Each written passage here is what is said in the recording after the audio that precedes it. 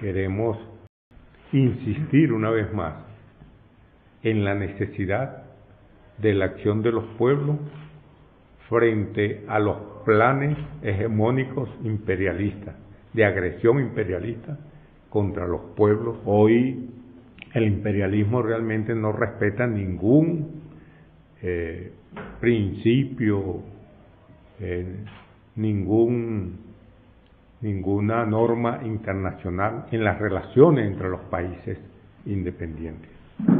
Y es así como vemos cómo ataca en cualquier parte del mundo con esa política de, agresión criminal preventiva.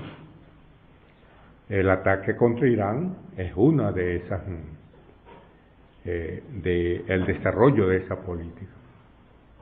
Y así se violan todos los derechos de los pueblos, se agrede a, a los pueblos del Medio Oriente impunemente y se, se agrede a los pueblos latinoamericanos.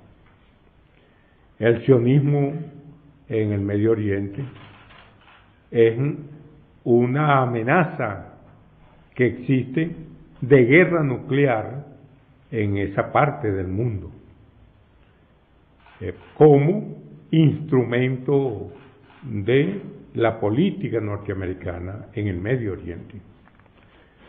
La paz mundial está indudablemente amenazada por esa criminal política de hegemónica en lo económico, en lo militar, en lo cultural, en todos los órdenes de la vida del imperialismo norteamericano.